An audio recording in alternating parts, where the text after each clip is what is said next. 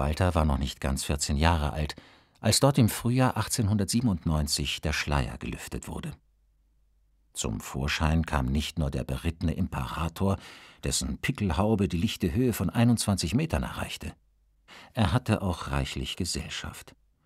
Zum Denkmal gehörten 53 zusätzliche menschliche Figuren und 157 Tiere, darunter 21 Pferde, vier Löwen, 16 Fledermäuse ein Frosch.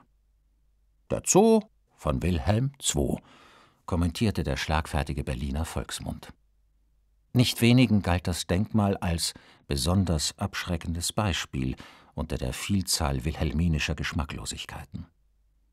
Auch Vater Gropius wird dieser Meinung gewesen sein. Durch die Säulen, die das Denkmal einfassten, sah man auf Schinkels Bauakademie, eins der Gral-stilistischer Stränge.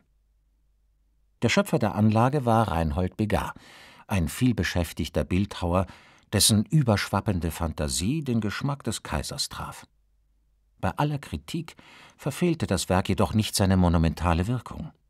Passanten, die vor seinem wuchtigen Granitsockel standen, schrumpften zu Lilliputanern. Hier tat sich die Kluft zwischen Obrigkeit und Untertanen besonders weit auf. Auch der junge Walter Gropius hat dies gespürt.